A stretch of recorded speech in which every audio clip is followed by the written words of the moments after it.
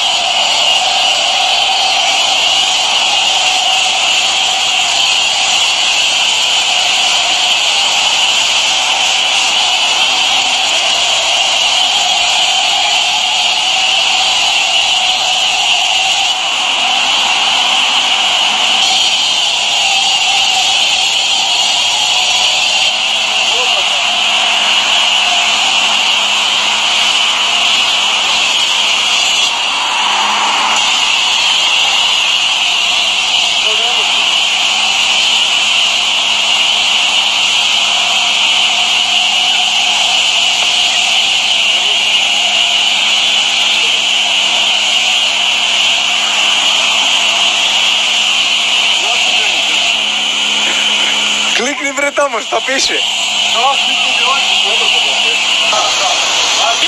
Evo ga brat u nastavku, braćo.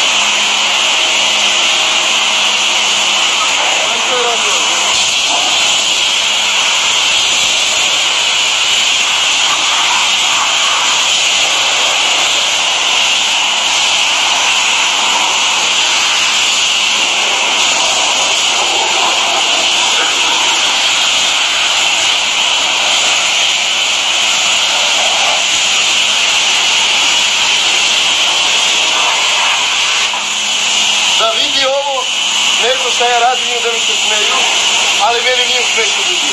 Od ovog napunili smo džet. Od ove.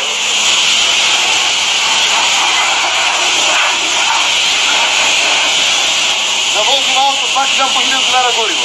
Ovdje ubacim 1000 dinara gorivo, šest dana se vozim.